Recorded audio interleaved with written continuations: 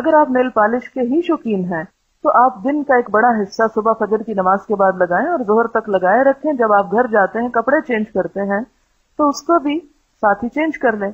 आप घड़ी देखें कि हार्डली कितने मिनट लगते हैं उसको उतारने में। लेकिन अगर आप समझते हैं कि आप बहुत मसरूफ इंसान है और आपकी ज़िंदगी में बड़े बड़े मकासद हैं तो ज़ाहिर है कि आपके लिए मुश्किल हो सकती है। तो महीने में छह सात दिन लगा लें तो उन दिनों में शौक पूरा हो जाएगा। और जो लोग अल्लाह की खातिर कोई चीज़ छोड़ देते हैं, कुर्बानी करते हैं तो अल्लाह ताला उनको इसकी बेहतरीन जजा देगा। ठीक है? तो ये जवाब होता है अमूमन मेरा नेल पॉलिश के जवाब में। कभी मैंने एक सेंटेंस में इसको हलाल हराम नहीं किया। ठीक है? वज़ू के बाद नेल पॉलिश लगाकर नमाज़ पढ़ी जा सकती ये दुरुस्त है या नहीं? अगर वज़ू बाकी है तो पढ़ लें। और अगर वज़ू टूट गया है तो फिर आप दोबारा वज़ू करने के लिए उसी नेल पॉलिश से काम नहीं चला सकते। बहुत से लोग ये कहते हैं कि जैसे वज़ू करके सॉक्स पहन लेते हैं और उसके ऊपर मसा होता रहता है तो एक दफ़ा वज़ू करके 24 फोर आवर नेल पॉलिश में मसा होता रहे। तो ये बात दुरुस्त नहीं है। वो चीज़ हजूर सलाम से साबित है। ये साबित नहीं है। दीन को हम अपनी अकल के साथ इंटरप्रेट नहीं कर सकते। कि इस्लाम कोई नेल पॉलिश का दुश्मन नहीं है।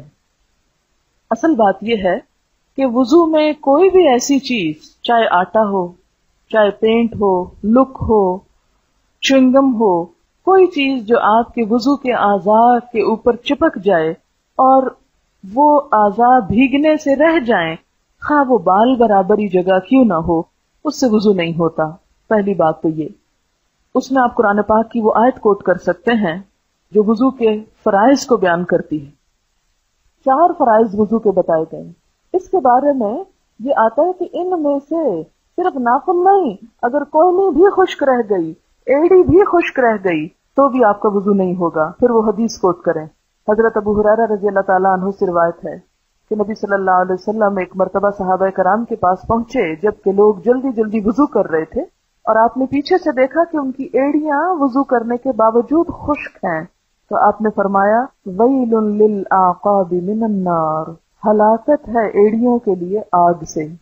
तीन मरतबा ब आवाज़ बुलंद फरमाया कि वज़ू भी हो रहा है, लेकिन एड़ियाँ खुश्क है।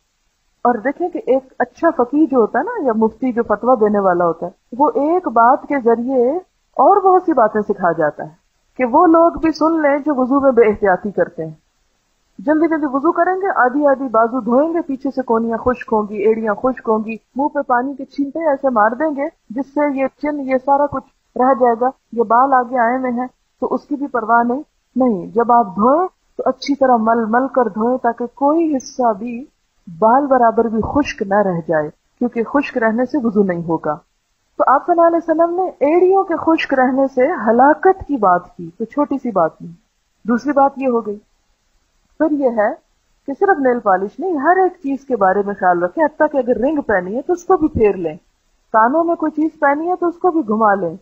सर के ऊपर अगर कोई गोंद वगैरह, जैसे पुराने जमाने में मेकअप के लिए औरतें बाल जोड़ने के लिए ऐसा स्टफ़ इस्तेमाल करती थी, मांग वगैरह में या और स्किन के ऊपर, कि जिससे सर की स्किन ढक जाती थी। और मुस्तकिल यानी जैसे मोम है तो मोम अगर किसी चीज़ पे गिरे तो नीचे पानी नहीं पहुँचता। तो उसमें सिर्फ़ वज़ू नहीं, बल्कि गुसल भी नहीं होता। साथ ही हल्का सा टच गुसल को भी दे दें। क्योंकि अगर गुसल नहीं और नापाकी से हम पाक हो रहे हैं तो पाकी नहीं हो पा रहे। ठीक है ना? तो खसूसी तौर पर जब पीरियड्स के दिनों में आपने नेल पॉलिश लगाई हुई हो और उतारे तो बहुत एहतियात से उतारे कि बाल बराबर जगह पर भी नेल पॉलिश बाकी ना रहे, वरना सारा गुसल नहीं होगा। गुसल ना हुआ तो नमाजी नहीं होगी। फिर अगली बात यह है कि आप ऐसी चीज़ कलर लगा सकते हैं कि जिससे कोटिंग ना हो। मसलन मेहंदी, या अगर कोई और आपने तरक्की करके ईजाद कर ली है कि जिससे कोई छिलका ऊपर नहीं आया तो उससे आप रंग सकते हैं, बशर्ते के रंग नेचुरल हो अननेचुरल कलर्स ना हो। तीसरी बात यह कि